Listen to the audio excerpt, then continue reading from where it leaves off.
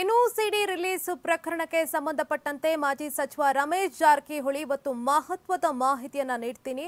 ಆಕೆಯ ಆರೋಪಿಗಳಿಗೆಲ್ಲ ಆರೋಪ ಏನ್ ಮಾಡಿದ್ದಾಳೆ, ಅದೆಲ್ಲದಕ್ಕೂ ಕೂಡ ಸಂಜೆ ಉತ್ತರವನ್ನ ಕೊಡ್ತೀನಿ ಅಂತ ಹೇಳಿರೋದು ತೀವ್ರ ಕುತೂಹಲಕ್ಕೆ ಕಾರಣವಾಗಿದೆ.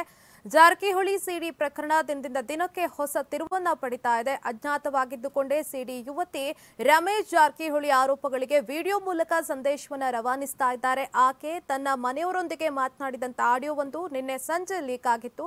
ಅದರಲ್ಲಿ ಆಕೆ ಡಿ ಕೆ ಶಿವಕುಮಾರ್ ಅವರ ಹೆಸರನ್ನ ಪ್ರಸ್ತಾಪಿಸಿದ್ದು ಇನ್ನಷ್ಟು ಚರ್ಚೆಗೆ ಇದೀಗ ಕಾರಣವಾಗಿರೋದು.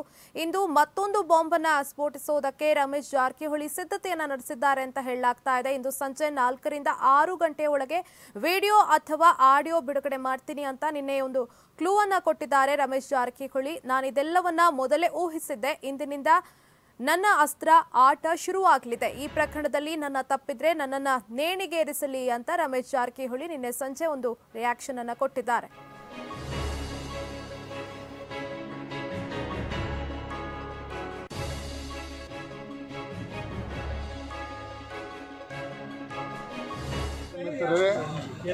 ನಾ ಸೆಕೆಂಡ್ ಶೇರ್ ಸಂಡೆ ಇರ್ತದ ಜನ ನಮ್ಮನ್ನೆಲ್ಲ ಉಗಳಾತಾರೆ ನೀವು ನಮ್ಮನ್ನು ಕೊಡಿ ದಯವಿಟ್ಟು ಎರಡು ಸುಟ್ಟಿ ಕೊಡಿ. ನಾಳೆ ನಾನು ಇವತ್ತು ಏನು ಮಾತಾಡೋದಿಲ್ಲ ನಾನು ಏನು ಮಾತಾಡಿದ್ರೆ ನಾಳೆ ನಾಲ್ಕರಿಂದ ಆರು ಗಂಟೆ ಇನ್ನೂ ದೊಡ್ಡ ಪ್ರಮಾಣ ಹೇಳ್ತೀನಿ.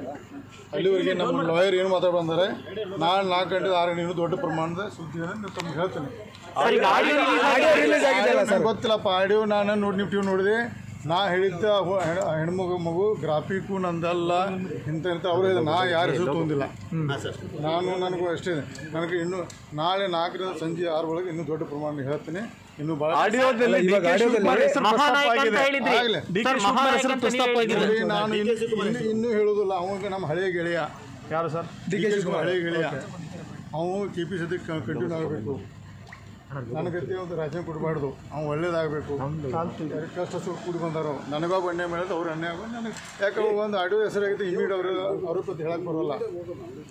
ಆಡಿಯೋದಲ್ಲಿ ಬಂದು ಇಮಿಡಿಯೇಟ್ ಡಿ ಕೆ ಶಿವಕುಮಾರ್ ಆರೋಪ ಹಾಕೋದ್ರೆ ಇನ್ನೂ ಸ್ಟಡಿ ಮಾಡಿ ಭಾಳಷ್ಟು ಎವಿಡೆನ್ಸ್ ನೋಡಿ ಮುಂದೆ ನೋಡೋಣ. ಡಿ ಕೆ ಶಿವಕುಮಾರ್ ಬಗ್ಗೆ ಭಾಳ ಪ್ರೀತಿ ಇದೆಯಲ್ಲ ಯಾಕೆ? ಹೌದು ನನ್ನ ಗೆಳೆಯ ಅವ್ನು ಕಷ್ಟಕ್ಕೆ ಕೂಡಿ ಬಂದ್ರೆ ನಾವು ಕೆಟ್ಟಗಳಿಗೆ ಒಂದು ಏನೋ ಕೆಟ್ಟಗಳಿಗೆ ಕೆಟ್ಟಾಗಿದ್ದೇವೆ.